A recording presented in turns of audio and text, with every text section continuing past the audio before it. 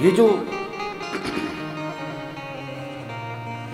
हिंदू मन मस्तिष्क है ना, सनातनी जो मन मस्तिष्क है, ये भागवत है, उत्पाती नहीं है।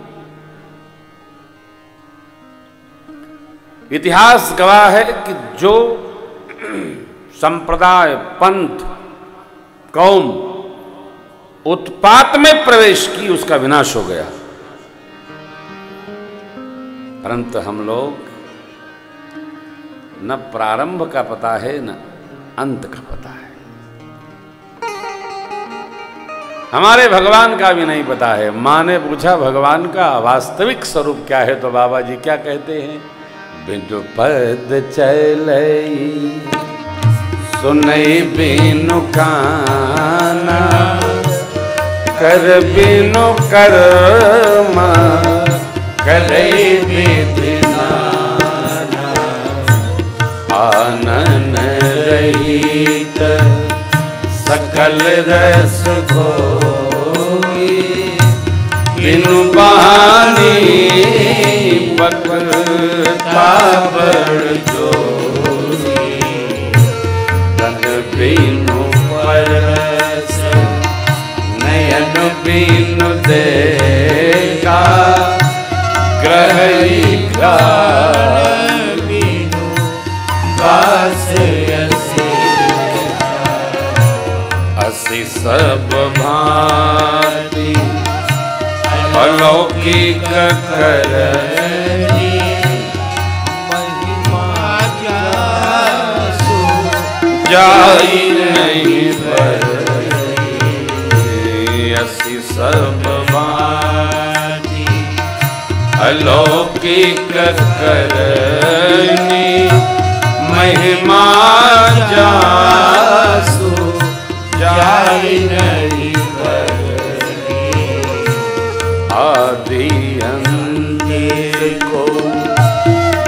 जासु न पावा मति अनुमान निगम यस गा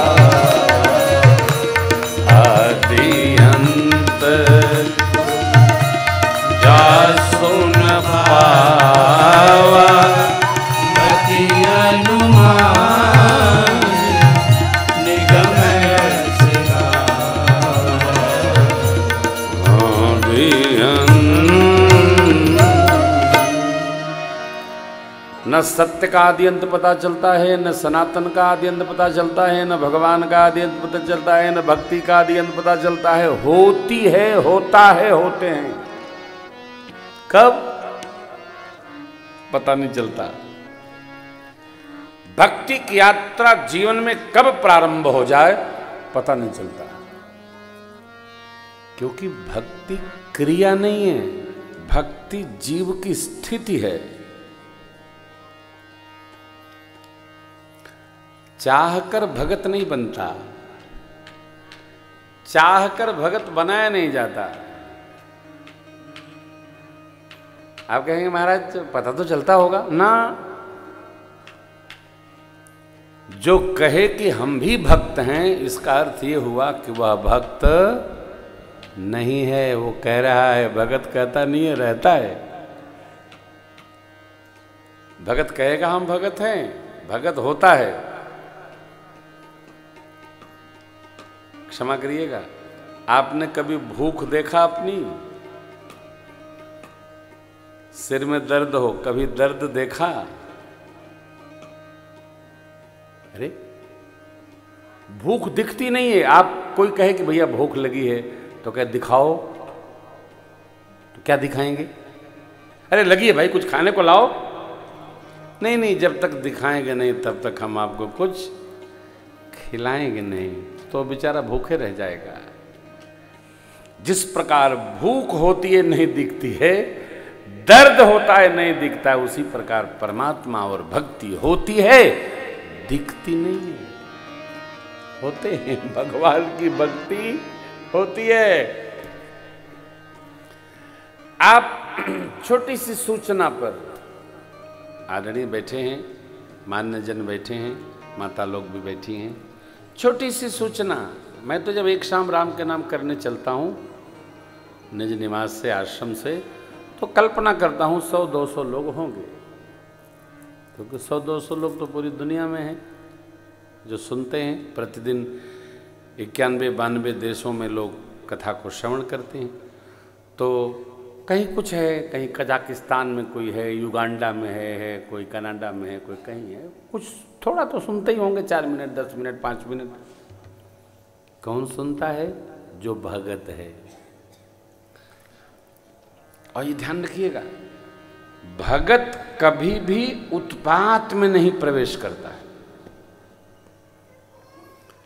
भगत कभी विवाद में नहीं पड़ता। क्योंकि उसको अपने आनंद रस से फुर्सत नहीं है साहब। जैसे नशा करने वाला नशेड़ी अपने नशा के मस्ती में रहता है, चाहे जो करो, उसको कोई फ़र्क पड़ता नहीं।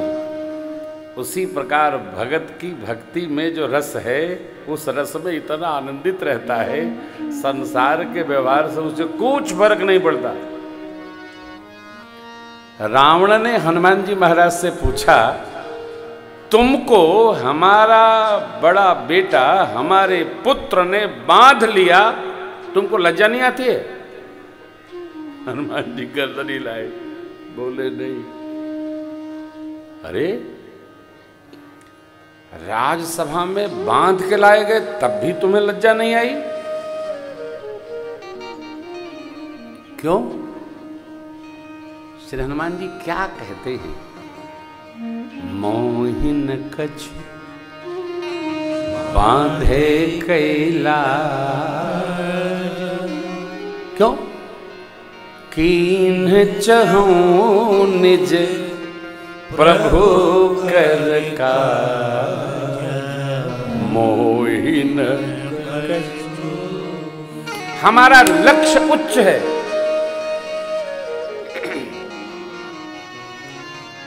आप अपने बड़े बेटे से ही पूछ लीजिए,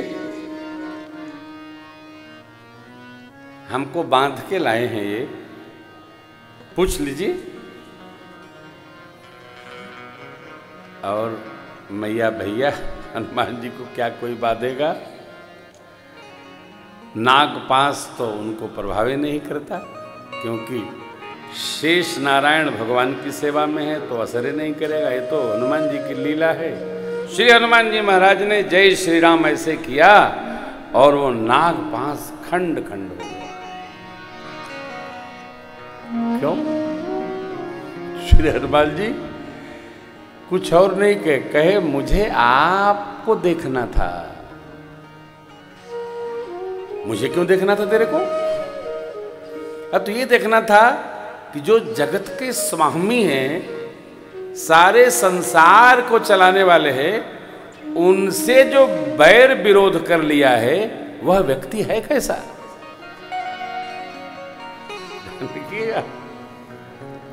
कई लोग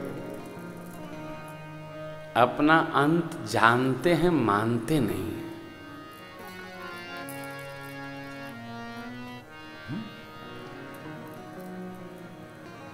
कोई बहादुरी नहीं है।